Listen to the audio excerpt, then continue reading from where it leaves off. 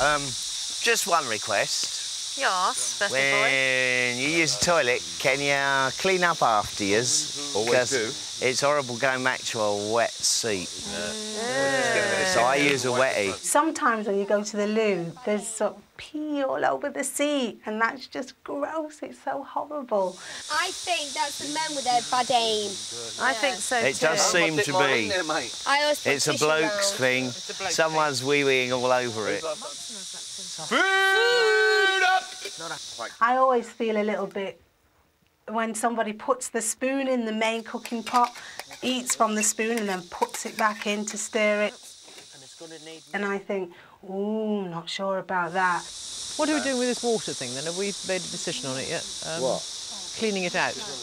Is it really that dirty Well, in it? Kate said she was a bit worried about it, and I think she's probably right, but we could leave it till later in the day. There's nothing wrong with that.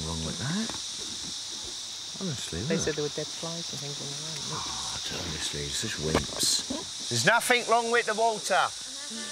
There's no bugs in that at all. There's no bugs in it. There was yesterday, weren't there, I mean, they Diane? must have cleaned it. In there The was flies and that, weren't there definitely? There may be a few people who have probably said, oh, I'm not the quickest or not the first one to jump, but they can't say that for the past few days because I've woken up and I've definitely chipped in now.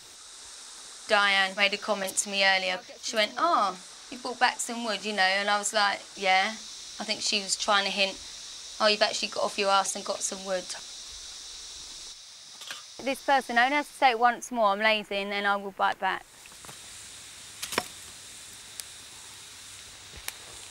That's a proper fire. Hey, Johnny, be proud of me and Kate.